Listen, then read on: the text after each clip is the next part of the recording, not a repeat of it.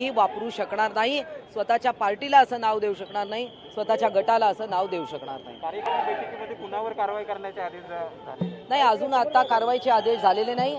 ते माननीय उद्धवजी ठाकरे जेव्हा उचित समय येईल तेव्हा ते सगळे अ, खरं तर या संपूर्ण प्रकरणामध्ये भाजपचा थेट हस्तक्षेप नाही असं अनेकदा म्हटलं जातं परंतु प्रत्यक्ष स्थिती तशी नाहीये.